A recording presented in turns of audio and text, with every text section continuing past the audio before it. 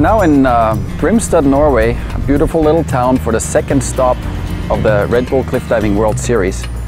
And uh, it's a really nice little town, typically Norwegian. We're expecting a lot of boats. Hopefully the weather will play its part with it.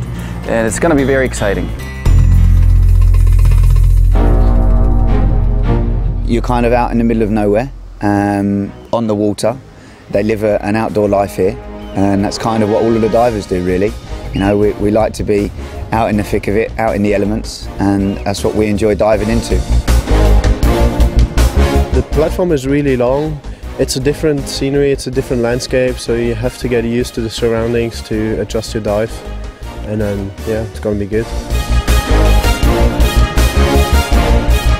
In Corsica, stop before, we have maybe 3 meters platform. Here maybe around 7.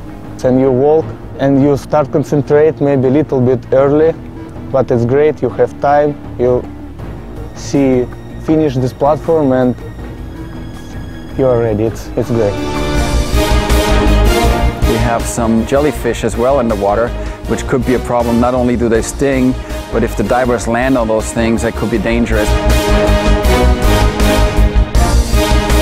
I think Grimstad and Norway fits really good to cliff diving because it's a really relaxed place so you can just enjoy, relax your mind and then just be very prepared and just keep your energy for the dives and then once you step on the platform your adrenaline is going to work the way up.